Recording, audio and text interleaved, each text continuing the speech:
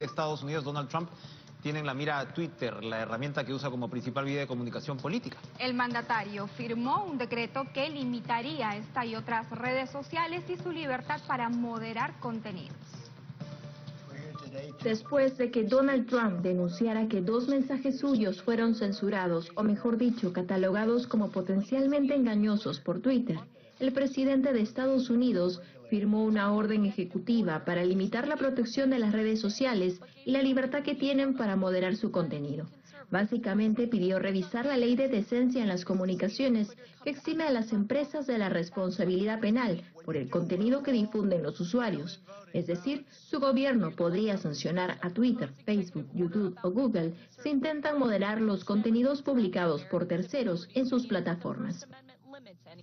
Estamos aquí hoy para defender la libertad de expresión de uno de los mayores peligros que enfrenta la historia de los Estados Unidos.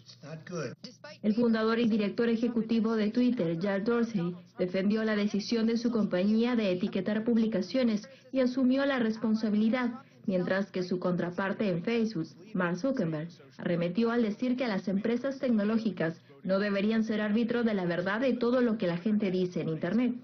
El pronunciamiento de Donald Trump se da horas más tarde de que usara Twitter para expresar sus condolencias por los decesos durante la pandemia, que supera la barrera de 100.000 muertos por coronavirus. La cifra de fallecimientos de 1,7 millones de infecciones confirmadas es por lejos la más alta de cualquier nación y Trump ha sido acusado por responder tardíamente. Social media companies that engage in censoring or any political conduct will not be able to keep their liability shield. That's a big deal. U.S. President Donald Trump on Thursday signed an executive order calling for new regulations on social media giants and the possible stripping away of a so called immunity shield that protects social media firms from litigation, a move experts said was unlikely to survive legal scrutiny. The order appears to follow through on Trump's threats to retaliate after Twitter tagged some of his posts about mail in voting with fact check notifications, telling readers the tweets contain false or misleading information.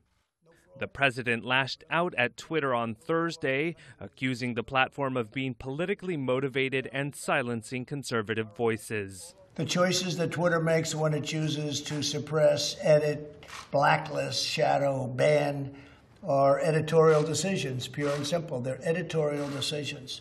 Currently, social media giants like Twitter receive an unprecedented liability shield based on the theory that they're a neutral platform, which they are not.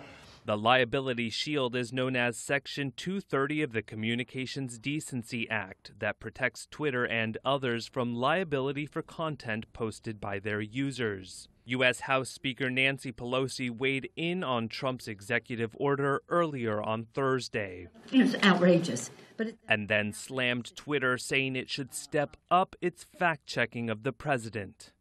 Uh, while Twitter is putting up their fact check under what the president says about voting, they still won't take off the misrepresentations the president is putting out there by the death of, of, of a gentleman whose wife died, and he's asking them to take down the president's misrepresentations.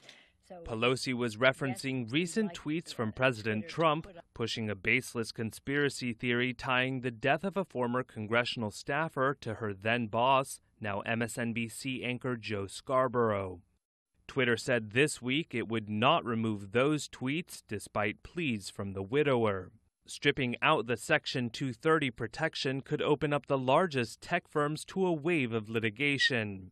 Legal experts said it was unclear if the Federal Communications Commission would embrace Trump's view of Section 230 laid out in the order. One legal expert told Reuters Trump's move was 95% political theater. Trump, who has long touted his tweets as his way of communicating directly with the American public without being tainted by what he calls fake news, was pressed by a reporter who asked why he didn't just do away with Twitter altogether if he didn't agree with the new fact checks. Well, you know, if uh, you weren't fake, I would not uh, even think about it. I would do that in a heartbeat.